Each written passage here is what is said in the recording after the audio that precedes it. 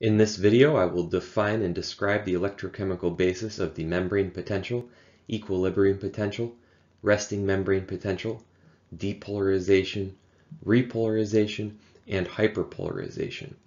Compare ligand-gated, voltage-gated, and ion leak channels. Contrast graded potentials with the action potential. Define threshold potential, excitatory postsynaptic potentials, inhibitory postsynaptic potentials, temporal summation, and spatial summation, and distinguish between absolute and relative refractory periods.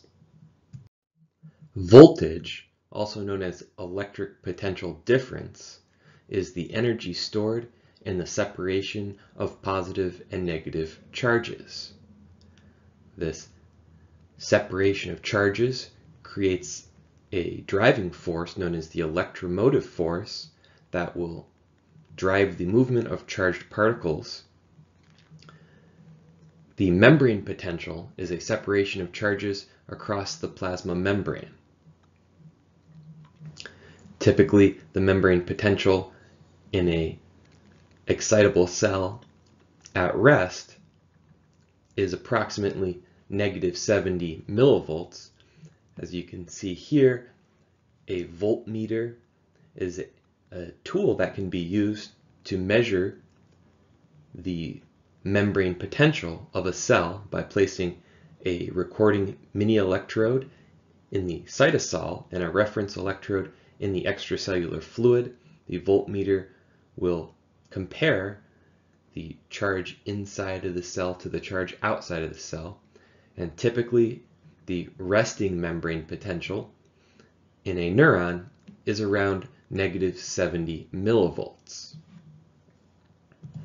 The membrane potential results from the separation of ions by the plasma membrane. There's a high concentration of sodium and chloride ions in the extracellular fluid, and there's a relatively high concentration of potassium ions in the intracellular fluid. There's also a high concentration of organic anions that have a negative charge, which are mostly proteins found in the cytosol that are too large to cross the plasma membrane. The equilibrium potential for an ion is the value of the membrane potential when there is no net flow of that ion into or out of the cell because the electromotive force is equal and opposite to the force of diffusion. The Nernst equation can be used to calculate the equilibrium potential for an ion.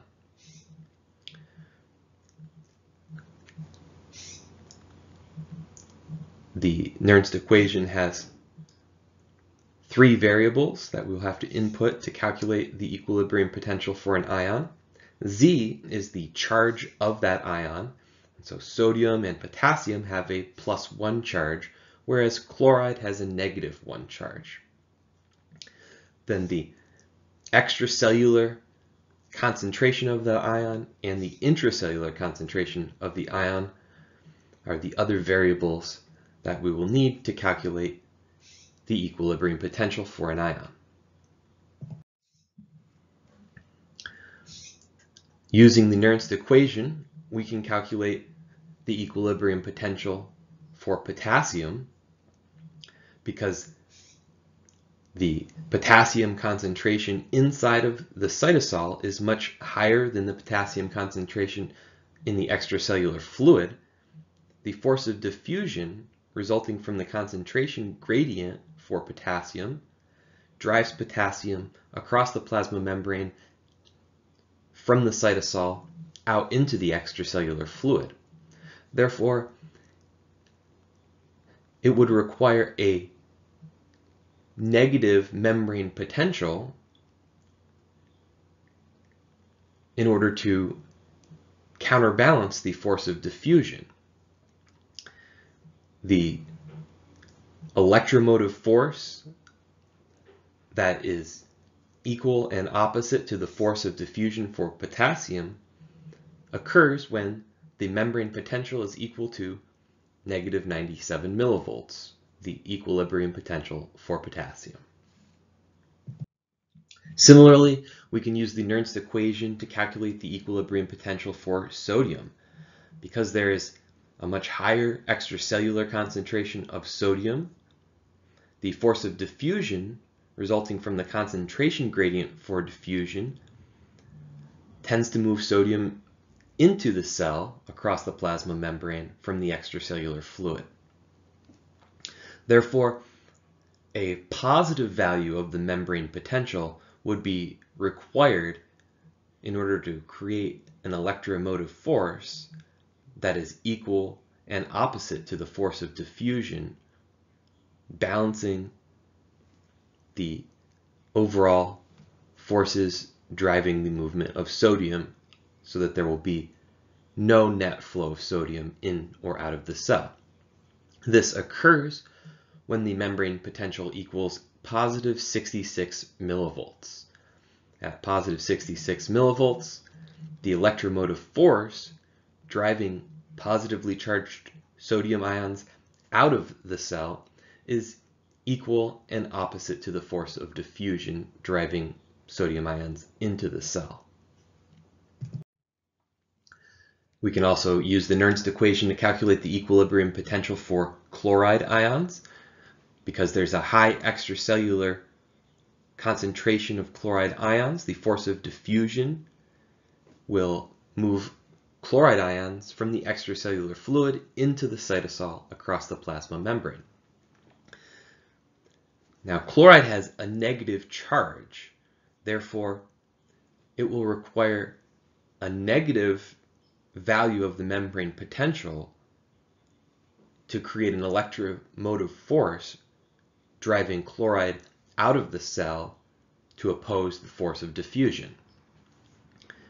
The equilibrium potential for chloride is approximately negative 90 millivolts, which is a value of the membrane potential that creates an electromotive force equal and opposite to the force of diffusion. Therefore, there will be no net flow of chloride into or out of the cell when the membrane potential is negative 90 millivolts. The resting membrane potential is the value of the membrane potential in a neuron at rest that is when the neuron is not producing a graded potential or action potential. The value of the resting membrane potential is typically around negative 70 millivolts, and this value results from the relative concentrations of sodium and potassium in the extracellular fluid and cytoplasm, and also the relative permeability of the plasma membrane to those ions. In this illustration, we can see three major types of integral membrane proteins that are involved in moving sodium and potassium across the plasma membrane. The sodium-potassium transporter is the sodium-potassium pump that will use energy released from hydrolysis of ATP in order to force three sodium ions out of the cell and two potassium ions into the cell. This sodium-potassium pump is what creates the concentration gradients with a high sodium concentration in the extracellular fluid and a low potassium concentration in the extracellular fluid. Sodium and potassium can cross the plasma membrane through a variety of channels. Some of these ion channels are constantly open, what we call ion leak channels that stay open all the time and are not gated. Other ion channels can, can be gated, meaning that they can open or close and some of them are ligand-gated ion channels that we'll see are chemically gated by a neurotransmitter, and others are voltage-gated, that is, they will be stimulated to open or close in response to changes in the membrane potential. The Goldman-Hodgkin-Katz equation enables us to calculate the value of the resting membrane potential. The variables that we need to calculate the resting membrane potential include the charge of the ions. And so for this equation, we'll focus on sodium and potassium because these are the most important ions that influence the membrane potential. And both sodium and potassium have a positive one charge. We will also need the extracellular and intracellular concentrations for sodium and potassium ions, and the relative permeability of the plasma membrane to these ions. The plasma membrane is approximately 20 times more permeable to potassium than sodium. And so the permeability factor for potassium will be set to 1 and the permeability factor for sodium is set to 0.05 or 1 20th of the permeability of potassium. By entering these variables into the Goldman-Hodgkin-Katz equation, you can see that the value of the resting membrane potential is approximately negative 70 millivolts. Ion leak channels determine the permeability of the membrane at rest, and there are approximately 20 times more potassium ion leak channels than sodium ion leak channels in most neurons. And this is why the resting membrane potential in a typical neuron, which is approximately negative 70 millivolts, is much closer to the equilibrium potential for potassium, approximately negative 97 millivolts, compared to the equilibrium potassium for sodium, which is positive 66 millivolts. However, gated channels can open in order to influence the permeability of the membrane Ligand-gated ion channels, also known as ion channel linked receptors or ionotropic neurotransmitter receptors, are integral membrane proteins that detect a chemical message, a paracrine signal known as a neurotransmitter. The neurotransmitter is the ligand that binds to the ligand-gated ion channel. And this neurotransmitter binding to the receptor will cause the ion channel to open. And this will change the permeability of the plasma membrane if the ligand-gated ion channel is a sodium ion channel. The relative permeability of the plasma membrane to sodium will increase.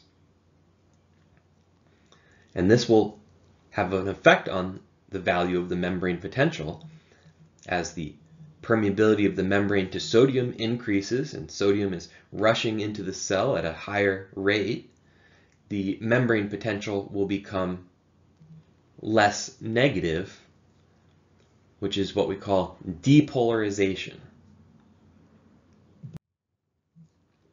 Voltage-gated ion channels can also influence the membrane potential.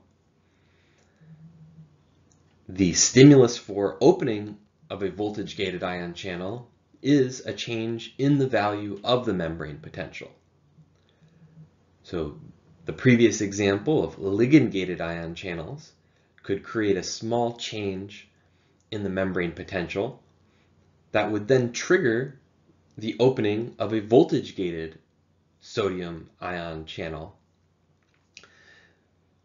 as the voltage-gated sodium ion channels open, this would further increase the permeability of the plasma membrane to sodium, which will further depolarize the membrane potential. That is, make the membrane potential less negative or more positive. The Voltage gated sodium channel is a channel that will open in response to a threshold value of the membrane potential. That threshold value is approximately negative 55 millivolts. So the resting membrane potential was negative 70, and if the membrane potential was depolarized by some ligand-gated sodium ion channels being activated, which depolarized the membrane enough to reach the threshold, negative 55 millivolts, that will stimulate voltage-gated sodium channels to open, and that will create even more depolarization as long as those channels remain open. The voltage-gated sodium channel will remain open for about one millisecond after it's activated. Then it will become inactivated. During that period when the voltage-gated sodium channel is inactivated, it's impossible for it to become opened and activated again.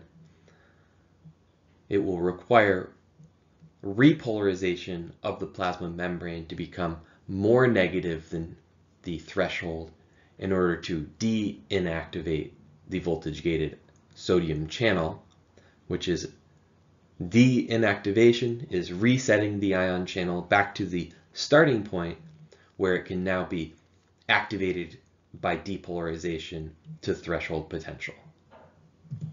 A graded potential is a localized change in the value of the membrane potential and a graded potential will become weaker as it spreads through the cell, as it spreads out over time, and it spreads out over space. There are two major types of graded potentials. The illustration here represents the excitatory postsynaptic potentials in green and the inhibitory postsynaptic potentials in red. An excitatory postsynaptic potential involves depolarization. This is a graded potential that causes the membrane potential to become less negative. So an excitatory postsynaptic potential, an EPSP, is stimulated when a neurotransmitter activates a ligand-gated sodium ion channel. And this is called an excitatory postsynaptic potential because depolarization brings the membrane potential value closer to the threshold potential of negative 55 millivolts, which is the critical level of the membrane potential that would stimulate opening of voltage-gated ion channels. So the other major type of graded potential is known as an inhibitory postsynaptic potential, or IPSP. When a neurotransmitter stimulates opening of a ligand-gated ion channel that is a chloride channel or potassium channel, this would cause hyperpolarization. Hyperpolarization means the membrane potential becomes more negative. That is, the membrane potential moves away from the threshold potential. And so an IPSP is known as an inhibitory postsynaptic potential because it's making it less likely that the membrane potential will reach the threshold for opening of voltage-gated ion channels.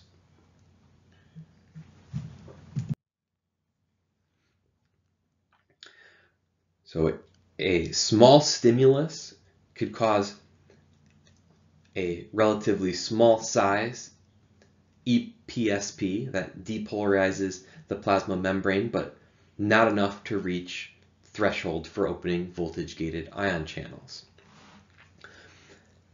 And the duration of the graded potential is proportional to the amount of time that the ligand-gated ion channels remain open. We could have a longer duration EPSP or a shorter duration EPSP, depending on how long the ion channel stays open for. We could also have a larger magnitude of an EPSP or a smaller magnitude, which would depend on the number of ligand-gated ion channels that open.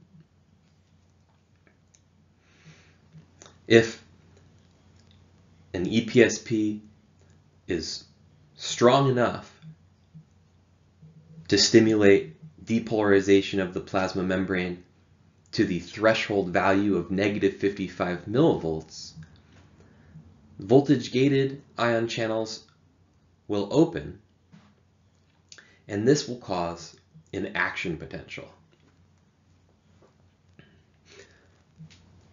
So while EPSPs are depolarizing graded potentials that make it more likely for a neuron to reach threshold and fire an action potential. IPSPs are hyperpolarizing graded potentials that make it less likely for a neuron to reach the threshold to fire an action potential. At most synapses, a single EPSP is not strong enough to cause the membrane potential to reach threshold. And multiple EPSPs will have to overlap in the mechanism of summation of graded potentials in order for the membrane potential to reach threshold. There are two major types of summation of graded potentials. Temporal summation occurs when a presynaptic neuron fires at a relatively high frequency, stimulating multiple EPSPs in rapid succession that will overlap to produce enough depolarization that the membrane potential reaches threshold. The other major type of summation is known as spatial summation. Spatial summation occurs when a postsynaptic neuron is stimulated by multiple presynaptic neurons. When multiple synapses are stimulating the postsynaptic neuron at the same time, this is what we call spatial summation. And so temporal summation can occur at one synapse when the presynaptic neuron stimulates the postsynaptic neuron at a high frequency, in contrast to spatial summation that occurs when multiple neurons are simultaneously stimulating multiple synapses on one postsynaptic neuron. Summation can involve overlapping EPSPs that make it more likely for the postsynaptic neuron to fire an action potential, or we can have summation of EPSPs with IPSPs, which will cancel out the EPSPs, making it less likely that the postsynaptic neuron will fire an action potential. The action potential is a brief reversal of the membrane potential that spreads non-decrementally down the axon from the axon hillock to the axon terminals. The action potential is stimulated when the membrane potential is depolarized to the threshold value of negative 55 millivolts, causing opening of voltage-gated sodium channels. These channels open and sodium rushes into the cell, causing depolarization during the rising phase of the action potential. Then the voltage-gated sodium channels close after approximately one millisecond and become inactivated. This inactivation of voltage-gated sodium channels causes a refractory period known as the absolute refractory period when the voltage-gated sodium channels are inactivated it is impossible for another action potential to be generated. This will help to ensure that the action potential spreads in one direction from the axon hillock to the axon terminals. And This also will lead to a maximal frequency of action potentials. It's impossible to fire action potentials any faster than about 1000 per second or 1000 hertz. After the rising phase of the action potential, when the voltage-gated sodium channels close, voltage-gated potassium channels will open, causing the falling phase of the action potential. Repolarization occurs during the falling phase of the action potential because the voltage-gated sodium channels have closed and voltage-gated potassium channels have opened. Potassium will rush out of the cell, causing rapid repolarization, and there will be hyperpolarization that occurs. The voltage-gated potassium channels being open creates an even greater relative permeability of the plasma membrane to potassium, causing the membrane potential to become more negative than the resting membrane potential. This hyperpolarization that occurs, that occurs at the end of the falling phase of the action potential is the relative refractory period. That is, it's a brief period immediately following the action potential when it is more difficult to stimulate another action potential. So while it is possible to stimulate another action potential by having summation of EPSPs that occur during the hyperpolarization at the end of an action potential, these EPSPs will have to sum with that hyperpolarization and cancel it out in order to create enough depolarization to reach threshold. Therefore, at the relative refractory period, the open voltage-gated potassium channels are making it exceptionally difficult to trigger another action potential, but not impossible. So it's a relative refractory period in contrast to the absolute refractory period. The absolute refractory period will end during the falling phase of the action potential when repolarization causes de-inactivation of the voltage-gated sodium channels.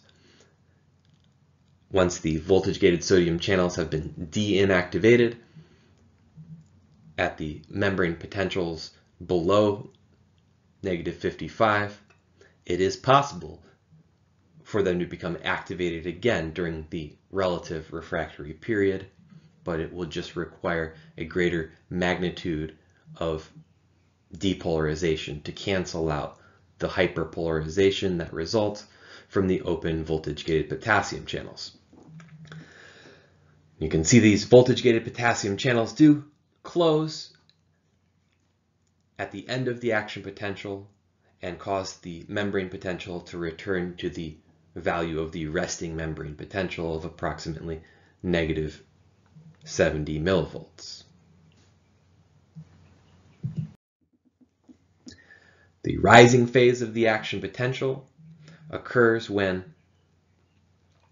the summation of excitatory postsynaptic potentials depolarize the plasma membrane to threshold of negative 55 millivolts, causing opening of voltage-gated sodium channels.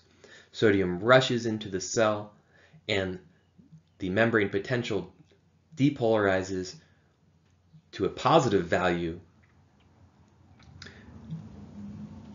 and then the voltage-gated sodium channel will close and become inactivated.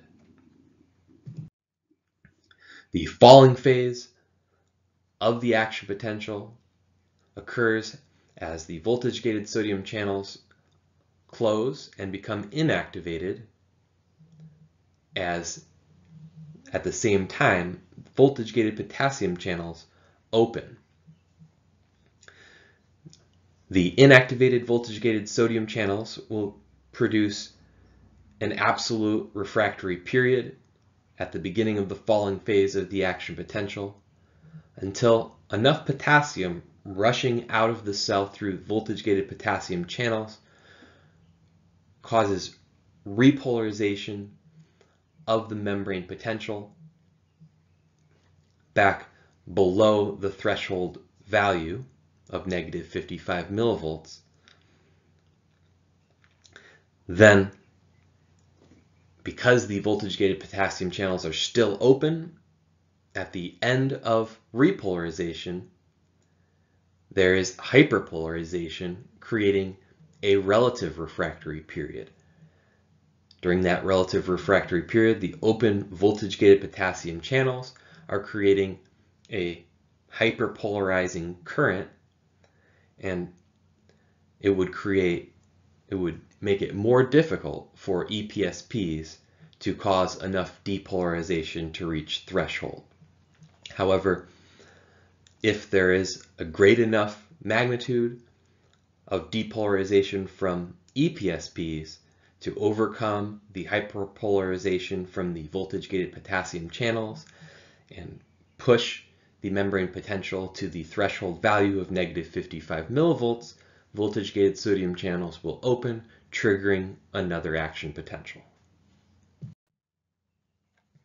So the action potential in a neuron lasts around 2 milliseconds. The first millisecond is the rising phase where depolarization occurs as sodium is rushing in through voltage-gated sodium channels.